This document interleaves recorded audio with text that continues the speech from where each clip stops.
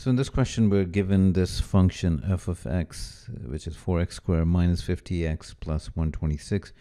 We're asked to find the value of x for which the function reaches its minimum. So the easiest way to do this is to just use the calculator, the on-screen calculator. You put in this function y equal to graph it, and then identify, click on the minima, and that gives you the x value. So I'm not really sure what the point of this question is, if it can simply be done by graphing. The other concept you need to know is, and it may show up in the exam in a more general way where perhaps using a calculator won't do the job. So if you're given a general quadratic and the axis of symmetry, the equation of the axis of symmetry is minus b over 2a.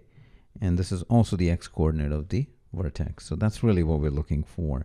And here, you'll note b is minus 50 and a is 4.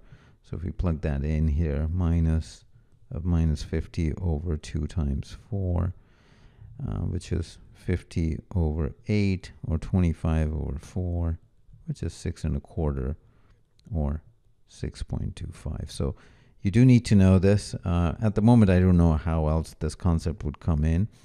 But of course, if uh, there's an option to just graph it, that would be the easiest. So to summarize, the answer is 6.25.